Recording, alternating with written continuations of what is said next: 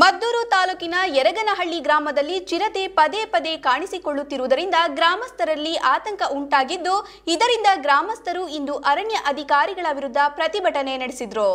ಮದ್ದೂರು ತಾಲೂಕಿನ ಯರಗನಹಳ್ಳಿ ಗ್ರಾಮದಲ್ಲಿ ಚಿರತೆ ಪದೇ ಪದೇ ಕಾಣಿಸಿಕೊಳ್ಳುತ್ತಿರುವುದರಿಂದ ಗ್ರಾಮಸ್ಥರಲ್ಲಿ ಆತಂಕ ಉಂಟಾಗಿದ್ದು, ಕಳೆದ ವಾರವಷ್ಟೇ ಕಾಳಲಿಂಗಯ್ಯ ಎಂಬುವರ ಕೊಟ್ಟಿಗೆಯಲ್ಲಿ ಹಾಡೊಂದನ್ನು ಹೊತ್ತು ಹೋಗಿ ತಿಂದ ಚಿರತೆ ಮತ್ತೆ ತಡರಾತ್ರಿ ಹಾಡಿನ ಮರಿಯನ್ನು ಕೂಡ ಎಳೆದೊಯ್ಯುವ ಸಂದರ್ಭದಲ್ಲಿ ಗ್ರಾಮಸ್ಥರ ಅರಚಾಟದಿಂದ ಭಯಗೊಂಡ ಚಿರತೆ ಮರಿಯನ್ನು ಅಲ್ಲೇ ಬಿಟ್ಟು ಪರಾರಿಯಾಗಿದೆ. ಅರಣ್ಯ ಇಲಾಖೆ ಅಧಿಕಾರಿಗಳು ಸೂಕ್ತ ರೀತಿಯ ಕ್ರಮ ವಹಿಸುತ್ತಿಲ್ಲ ಎಂದು ಯರಗನಹಳ್ಳಿ ಗ್ರಾಮ ಪಂಚಾಯಿತಿಯ ಉಪಾಧ್ಯಕ್ಷ ಹೊಂಬಾಳೆ ಅರಣ್ಯ ಅಧಿಕಾರಿಗಳನ್ನು ತರಾಟೆಗೆ ತೆಗೆದುಕೊಂಡರು.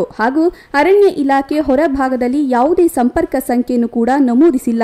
ಹೇಳಿದ ಸಮಯಕ್ಕೆ ತಕ್ಷಣ ಅಧಿಕಾರಿಗಳು ಸೂಕ್ತ ಕ್ರಮ ಕೈಗೊಳ್ಳುತ್ತಿಲ್ಲ. ಅರಣ್ಯ ಇಲಾಖೆ ಅಧಿಕಾರಿಗಳ ಬೇಜವಾಬ್ದಾರಿತನದಿಂದ ಮುಂದೊಂದು ದಿನ ಮನುಷ್ಯರ ಮೇಲೆ ಚಿರತೆ ತಿರುಗಿಬಿದ್ದರೆ ಯಾರು ಹೊಣೆ ಎಂದು ಅರಣ್ಯ ಇಲಾಖೆ ಅಧಿಕಾರಿ ಶಶಿಧರ್ ಅವರಿಗೆ ತರಾಟೆಗೆ ತೆಗೆದುಕೊಂಡರು.